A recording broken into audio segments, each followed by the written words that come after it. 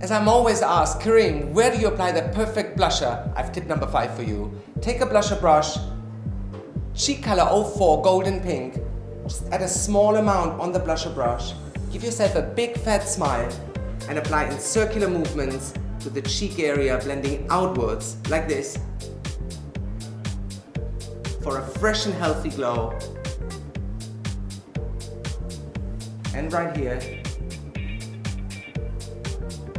And my extra tip for you to take some years off, just add a small amount onto that blusher brush, apply it to the area right under your eyebrows. And there she is, our nicely blushed nomadic goddess.